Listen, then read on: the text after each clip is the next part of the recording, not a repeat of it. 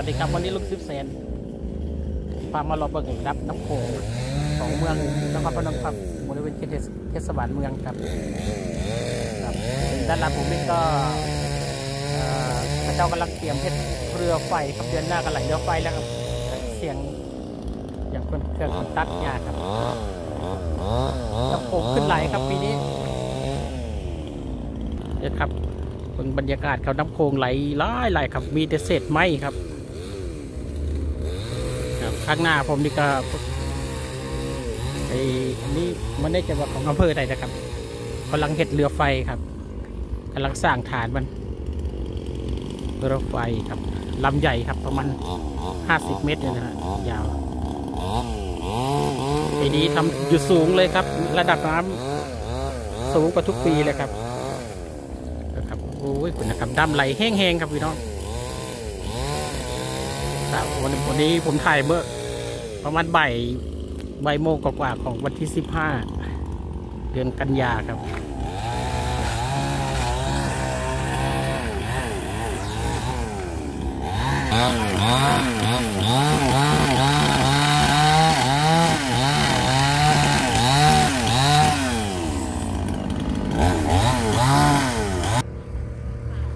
ครับเป็นภาพ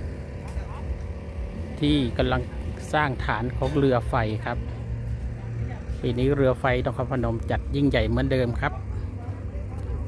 วันนี้ลุงสิบแสงกระพามาเราเบิกเป็นบรรยากาศจะไปตลาดตะลีครับ ช่วงนี้ฝนตกน้ำขึ้นไหลครับนะครับป็นกองไม้ไผ่ ที่มาใช้ทำเรือไฟ แต่ละลำเนี่ยก็ใช้เวลาทำนานครับ ยิ่งลำใหญ่ก็จะใช้เวลานานครับเป็นเดือนครับ ตรงนี้ดีหน่อยร่มไม้ เย็นสบายครับ สกีทางนอกนะพี่น้องด้านนอกครับ น้ำโขงไหลเร็วๆครับ ไหลแรงด้วยครับมีแต่เศษไม้เศษหญ้าเศษต้นไม้อะไรต่างๆ ครับ ขยกขยะ